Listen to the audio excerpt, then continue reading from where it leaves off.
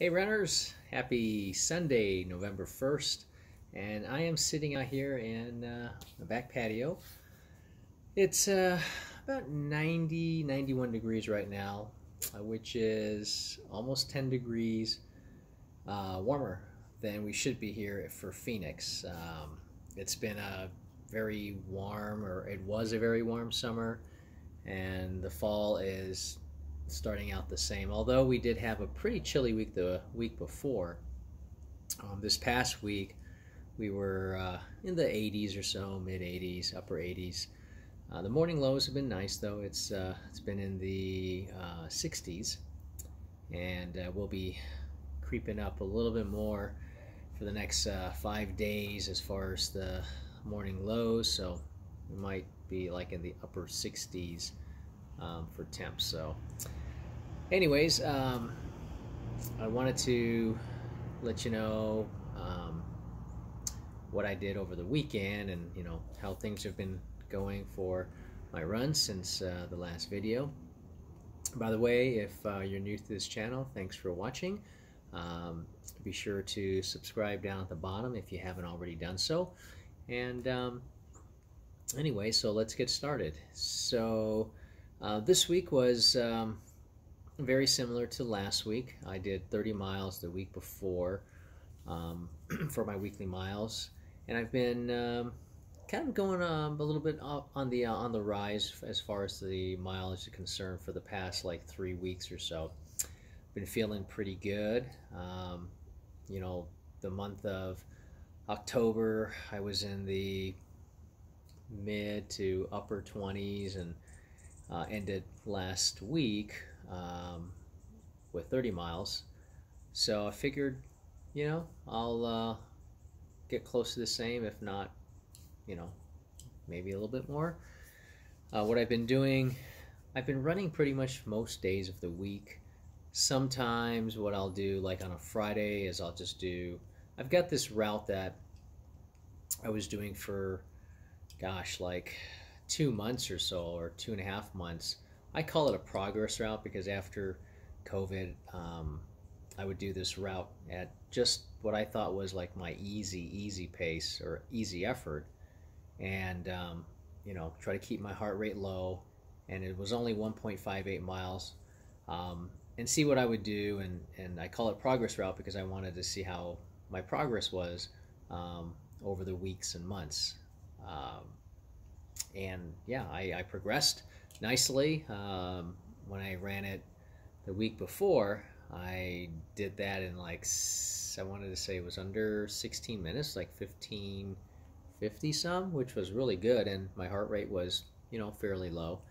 At the same basically effort, um, I shaved off from the very beginning, like over two months ago. I took off um, like two and a half, three minutes but of course, you know, right after COVID is when I was really running slowly, like close to 12 minutes a mile. So um, the last couple weeks, I've been um, running four miles to four and a half miles, like Monday, when Monday, Tuesday, Wednesday, and then on Thursday I would scale it back a little to three miles, and then Friday would be that you know progress route that I called it. This week I changed it up just a little. I did um, for the first three days of the week, you know, I think I did like a 4.6, um, 4, and like a 4.5. And then on Thursday, um, I did, it was three miles. Um, it might have been four actually. And then um, I did a couple miles also on Friday. Um, and then yesterday, I got out a little bit early because my wife was doing this um, half marathon race. So there was a race here um, in our neighborhood put on by um, a coach and a friend of ours who um, we've done some of his local races here, um, really just down the street basically. All these races in the last couple months have been you know, like three miles from our house, which is great. Um, so it's you know been like 5ks and um, yesterday was a half marathon and a half marathon relay in this area called Lakewood, which is uh, about a two and a half mile um, loop, um, circle, whatever you want to call it.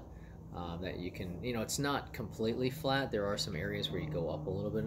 I wouldn't say it's like a real steep climb and gradual, um, but it's nice. Um, you can run on the inside or the outside, and we you know run um, on the uh, against traffic, as a lot of runners do here, um, just so that we can see the cars and you know um, feel safer doing so. So I got out at like 5:20 in the morning. I drove down there, parked at the school, kind of where the start of the race was going to be, and then I just set out to do um, six to seven miles. That's that's my long run right now, to be perfectly honest with you. Um, I mean, especially based on the miles.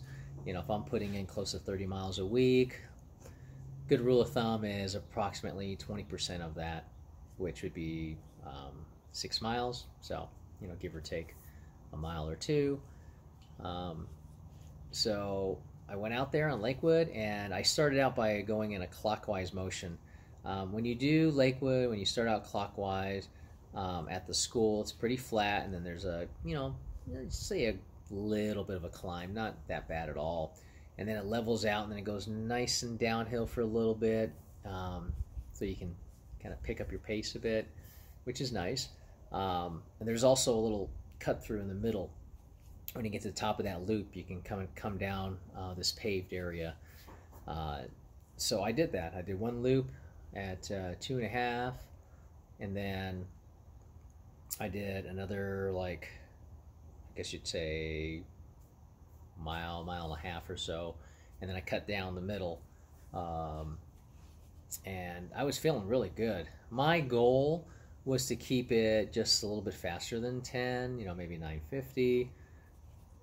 I was feeling really good. Um, I stopped once to uh, you know, speak with our friend Flash, who's the coach putting on the race. He was starting to kind of get the um, the course, uh, you know, mapped out, coned out, so that uh, all the runners knew where they were going. So I stopped and chatted with him for about two, three minutes, caught my breath, and then took off. And then I saw my wife Carrie and ran back with her and finished seven miles.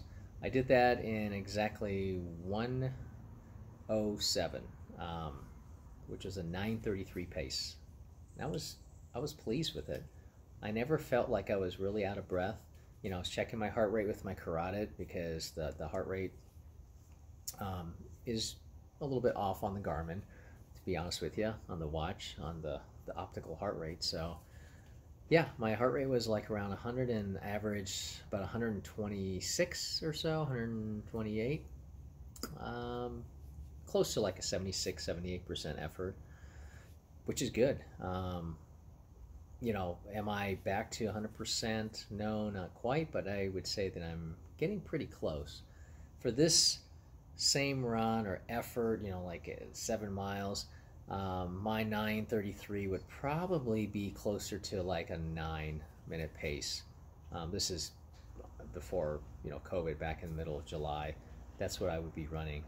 Uh, my easy runs lately have been um, about 10, 15 or so. So I'm I'm feeling good. Uh, I'm making progress. I'm enjoying it. Um, you know, I was just thinking today. It's a new month. Um, I'm hitting 30 miles for the past two weeks, and I'd like to hold it about there. You know, you know, some weeks might be a little less, some weeks might be a little more, but um, I think I might be um, looking at, you know, doing four miles for four days, and then, um, you know, maybe shorter distance on say Friday, and then doing my six, seven miles on on, on Saturday, and uh, just a couple miles on Sunday. So, yeah, just a kind of a little bit of uh, what's been going on with me. I feel pretty good. Um, we've got a couple races here in Phoenix coming up uh, by the same uh, uh, coach who um, is putting on a 5K in uh, two weeks on the 14th. I've done that course twice. I've gotten faster each time. Um, so I've got a goal in mind, what I want to hit. Um, you know, I'm going to work on the speed here on Tuesday usually every Tuesdays I'll do a speed workout, um, and then uh, Thanksgiving Day he's also putting on a race. Um, there's a 5K, which is going to be the reverse loop of the course we're doing. Uh, there's a 10K, and like a 1.5 mile uh, race for um, like a kids race. So yeah, um, you know, there's not tons of people racing it, which is nice. So we're all socially distancing, you know, being safe. Um, and the weather is kind of crazy. You know, we're we're going to be 90s here. Today was 90. It's going to be 90s all the way through Friday, and then I think we're going to get to like I want to say 80 or so on Saturday, and then 70, and then I think it might dip down into the I don't know upper 60s or something like that. So who knows? It's just been crazy. I don't know about you guys, but here in Phoenix, the weather, you know, for the summer was hotter than normal, and we shouldn't be in the low even to mid 90s as we're expected to get here soon in November. Our average is 81 degrees. So, but I mean, look, I'm in a tank here, sleeveless shirt. It's November 1st. Um, I can't really complain. Um, maybe you guys are getting snow or rain or it's just cold over there, wherever you guys are at. I'm curious to know where um, you guys are watching this from and uh, what you guys are doing for your training. Um, because I know folks up north in Flagstaff, you know, when it gets cold, they're usually on the treadmill. Um, we don't have to worry about that. We don't get any snow down here. Just maybe in the winter times might get down into uh, low 30s, sometimes upper 20s for a little bit. But we love the cold. Um, we'll take it. So curious to know what you guys are up to. Hope um, you guys are getting in your runs, and if you've done any races here this weekend or coming up, we'd love to. I'd love to know what your uh, what your goals are, and um, yeah, what else you guys have planned. That's about it. Um, go out there, tackle the day, get your runs in, make the most of it, and thanks for watching, guys. Have a great day. Take care. Bye.